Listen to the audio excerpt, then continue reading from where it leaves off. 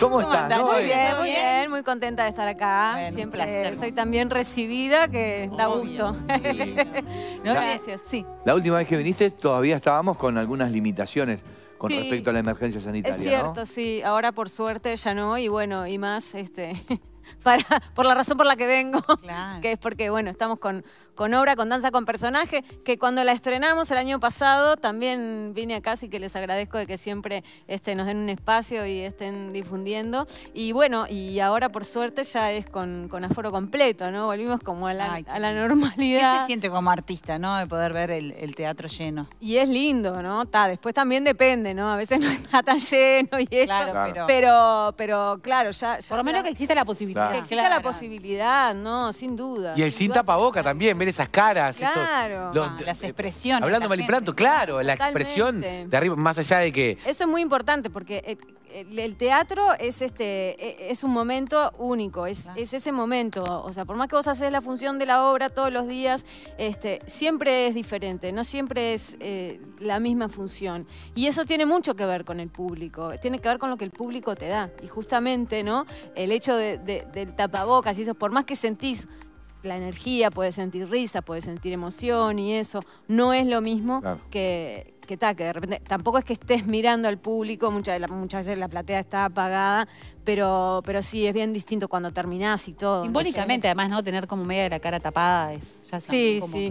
No, y es y- una imagen fuerte, desde arriba del Claro, escenario es una imagen, obvio, más allá de que no hagas humor, eh, está muy bien lo que dice ella, es, es una comunicación, es un arte vivo. Claro. Y, y- y- Exacto. y básicamente dependen de dos personas. El público es una gran persona y los actores Claro. son otra. Y es una comunicación. Si en la comunicación uno está tapado, Sí, sí, algo la, no la- sabe. la Cambia. expresión Hay como- cambia. Hay como Cambia muro, claro. completamente, sí. Noelia, ¿cómo preparás minutos antes el personaje y cómo terminás después de cada función? Porque son obras donde involucra mucho lo emocional, ¿no? Sí, es verdad. Mira, eh, antes siempre depende de la obra y del tipo de personaje que esté haciendo. En el caso de Danza con Personaje, que estoy eh, con Alén Blanco, que es el protagonista, digamos, y con Andrea Hernández, eh, nosotros lo- que hacemos por lo general es estiramiento, calentar el cuerpo y eso, porque tiene como una cosa física, y estamos este, casi, o sea, el, el el protagonista está todo el tiempo en escena, la hora y media, y yo ponerle que esté eh, cinco minutos menos, una cosa así. Claro. Entonces estás ahí y tenés que tener determinada energía también. Entonces por lo general hacemos calentamiento y hacemos una parte de la obra que la que yo tengo que decir un montón de cosas así seguidas y son muchos nombres y, y es como la parte a la que siempre más le tengo miedo y entonces utilizamos esa parte como Para refrescarla Claro. y, Claro. y ya arrancar como con esa tranquilidad de que, de que va a salir. ¿Y cuando termina? Y cuando como termina, no, quedás, ¿No? ¿No? quedás como liberada, Claro. ¿así? que- O- con, energía, Ah, quedás ¿sí? como- sí, sí, quedás como con. Hagamos de otra función. Después sí estás, después sí estás cansado, pero Claro. tal cual. Que te hablan del cansancio lindo, ¿no? Esta Claro. Historia Sí. Exacto. te genera, es como el- para el que no, capaz que no hace teatro o algo, es el ejercicio, te mejora el estado de ánimo, el humor, salís más feliz. Sí, te dan endorfinas. Es ¿sí? un- hay, hay un cansancio, yo creo, creemos, si te dedicas a lo que te gusta, podés llegar a descubrir un cansancio positivo. Es ese cansancio físico, pero emocionalmente estás completo Sí. en algún punto. Esto es un restreno en realidad, Es está un bueno. sí. Eh, y, y como todo restreno, eh, hubo que volver a ensayar, hubo que volver a recordar Sí. es- esta historia de yo hacía esto acá, ¿qué hacía acá? Claro. ¿De qué hacía yo? Un poco que creo, como nosotros estrenamos en octubre del año pasado, si mal no recuerdo, no pasó tanto tiempo, no es que pasó un año y te volvés a la obra, pasaron unos meses. Entonces como que la parte, digamos, de, de- de movimientos escénicos eh, la, la tenés bastante clara y, y algo que se te olvide o así tu compañero te ayuda, ¿no? Eh, eso sí, pero claro, la letra... Tenés que volver a repasarla y eso. Eh, el primer ensayo, cuando volvés a, a- a ensayar después de que ya estrenaste y hace meses que no la haces, es tipo... Durísimo. Caos. Claro, o sea, podés capaz que, pa- capaz que ¿Nosotros vas con la letra esto? aprendida, claro. Claro. Capaz que Esto vas con la letra aprendida, pero, pero los matices, viste, toda la comunicación y todo es como tipo. Claro, claro. eh, Bueno. después ya como que se va aceitando. Claro. Y, ¿Y cambiaron ya, algo? cuarto, quinto ensayo ya. No, no. No, no se cambió nada. No, absolutamente. No, cambiamos nada. ¿Son, No, son no- apegados al texto, eh, ¿Eh? vos y tus compañeros? Viste que hay tipos de actores que son a- más apegados al texto y otros que Bueno, juegan un poco depende de más. la Depende de la memoria ¿no? que uno tenga. Pero, pero bueno, eso sí. No, pará, y la cintura del director-directora, pues sí. Claro, Este, bueno, en nuestro estricto. caso la directora es autora también del texto. Ah. Ay, Igual claro. Sandra es como bastante mm, eh, libre en eso. libre en este sentido. Vos, ya, vos cuando vas a hacer la función ya tenés un texto, entonces te tenés que apegar al texto. O sea, no es un tipo de obra, porque hay, hay obras en las que podés improvisar, meter algún ch- un changüey, una cosita. Y ¿no? jugar, jugar. Eh, Jugar. En, en esta obra no, te tenés que regir a- eh, al texto, ¿no? Obviamente a veces te olvidas una frase o una palabra, la cambias por un sinónimo, porque, o sea, lo que vale es que siga, o sea, Claro. que, Que siga rodando la claro. obra, la emoción, lo que está generando, ¿no? Pero por lo general eh, en este tipo de obras sí tenés que, ¿Y tenés tenés que ser alguna anécdota? fiel No. al texto. ¿Tenés alguna anécdota de olvido, de algo que te haya pasado? De, e- eso es muy clásico, vos has actuado en un montón de, de- de obras, este, sobre todo de obras porque digo, en el cine se vuelve a grabar y, y no, no mucho más.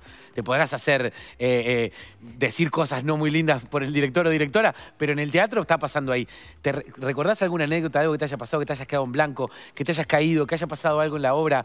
Eh, vos algo de salud, por ejemplo, que tuviste que... eh, ¿Pasó algo arriba del escenario? Bueno, algo uh, que me pasó una sola vez y que por lo general no te pasa, eh, porque no sé qué pasa cuando entras al escenario, ¿viste? Podés este, estar teniendo ganas de ir al baño, te Claro. podés- Sí. eh, No tenés tos, no tenés hipo, no tenés sea, nada. Estás con fiebre, no sé qué. Estás en el escenario Eh. y es como que todo se te va, ¿no? Pero raras veces te pasa algo como que te viene un ataque de tos.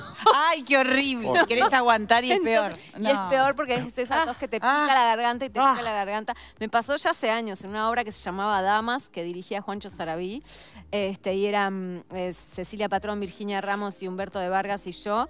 Que en un momento me, me- me- me empezó a picar la garganta horrible y entonces como haciendo, ¿viste? Ay. Tratando de no sé qué para no toser. Y por suerte cuando ya estoy por toser, ya el foco de la escena se ponía en otro y yo me podía poner como atrás de, de- de una pileta, ¿no? Una cosa así. Entonces agarré y me agaché ahí y empecé tipo a toser contra la pileta hasta que se me fue. No, no, Ay, qué bueno. Pero Qué nervios. Hoy hablabas, hoy hablabas de la, de la dirección y ya con Sandra es la segunda obra que La trabajas con segunda ella, ¿no? obra. Sí, la sí, bailarina sí. de Mangucha también. ¿Cómo es Totalmente. trabajar con ella? Y yo nos, nos llevamos muy bien, hay mucha comunicación. Es- está bueno ver, yo por suerte con la mayoría de los directores que he trabajado, he trabajado más de una vez.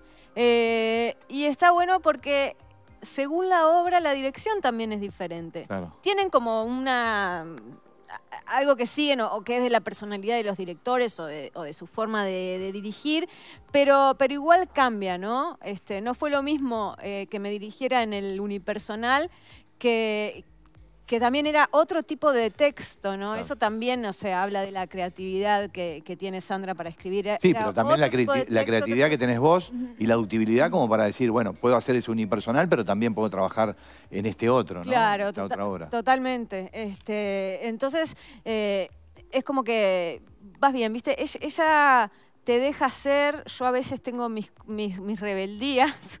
¿no? Mirá. Noelia.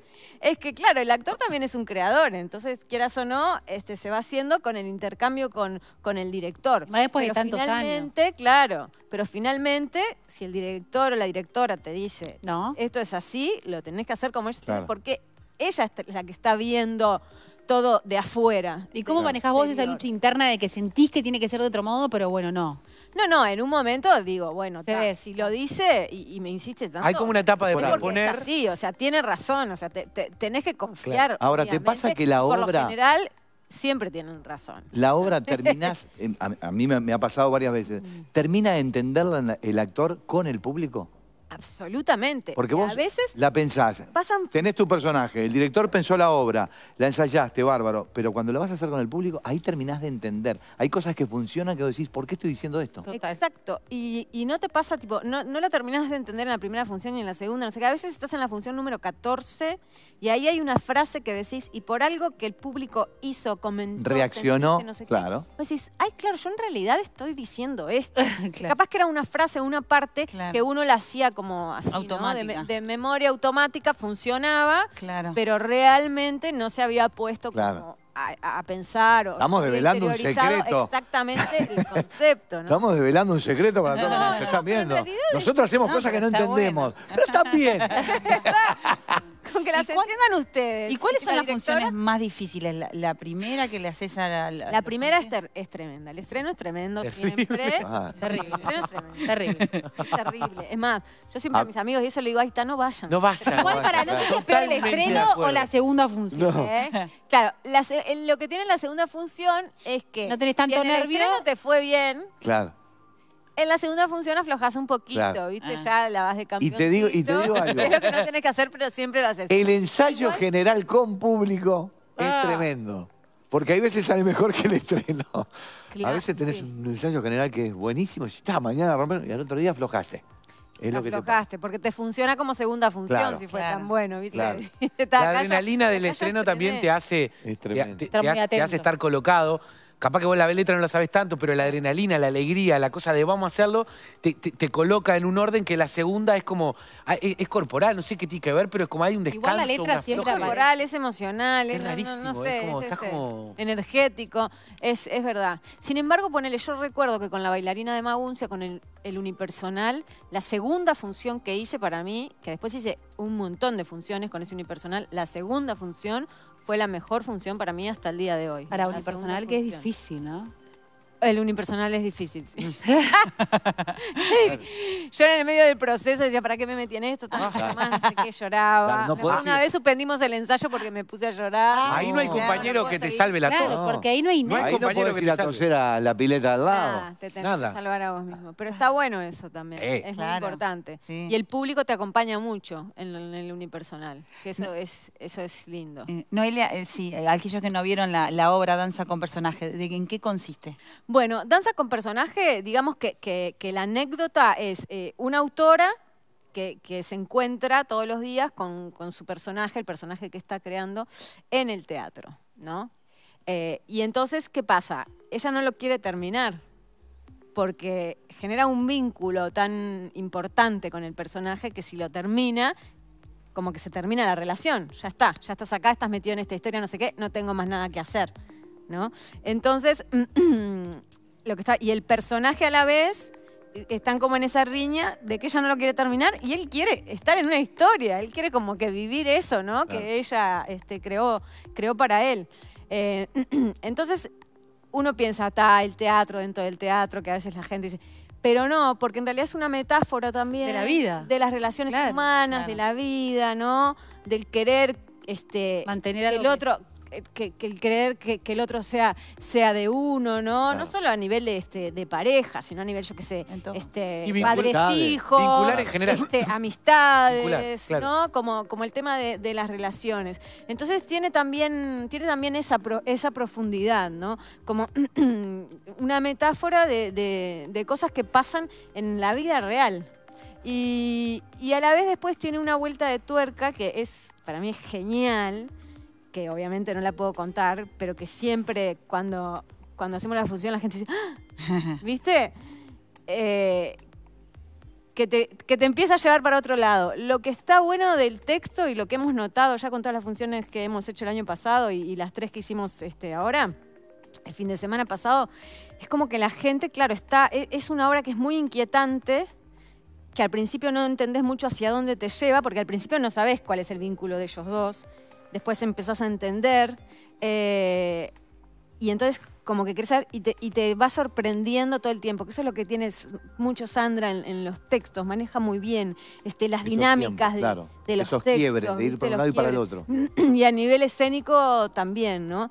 Este, y aparece es- ese otro personaje que, que hace Andrea Hernández, ¿viste? Que es un personaje que viene y que la autora no sabe si es un personaje de ella o se le está colando, ¿viste? Un- Una cosa así. También está el tema, el- el- la escenografía es, es muy linda. Bueno, de hecho, Guillermo y Fran ganó el Florencio Mejor Escenografía. Tiene un telón hermoso atrás y, y hay como muchos zapatos. Y es el tema también de ponerse en el lugar del otro, ¿no?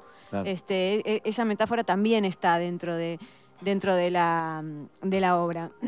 y después, lo que pasa que va, eh, mucha gente que, conoce teatro, que va mucho teatro, cuando va gente que no conoce tanto el teatro, también es muy interesante el hecho de la- esa parte como más literal de cómo funciona Claro, ves la- este, como la cocina de una la obra. cocina, Claro. exactamente, que por lo general a la gente le, le gusta mucho. Qué lindo. Sí, ¿Y en sí. qué teatro se hace? ¿En donde lo están es en la? Ferreira, La en el auditorio Bas Ferreira, quedan dos funciones, que es este viernes y este sábado. Las dos funciones son a las 9 de la noche.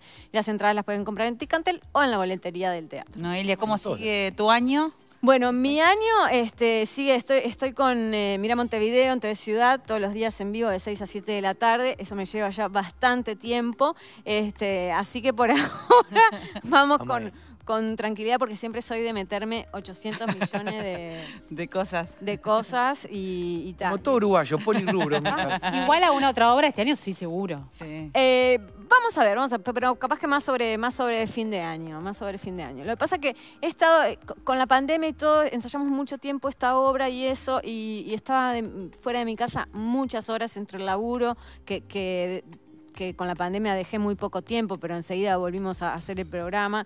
eh, y, ta, y tengo hijo adolescente, Claro. entonces hay que, Hay que estar, hay que estar, ¿viste? Perfecto. Entonces, por ahora quiero ta, tra- trabajar este Bien. que me da más ingresos para vivir. Claro. Y, Y también estar, y estar en casa. sí. Buenísimo. Noelia, un Placer como siempre, por tenerte aquí favor, con por nosotros. favor. Despedimos con un fuerte aplauso. Gracias. Gracias a ustedes. Vamos a la pausa.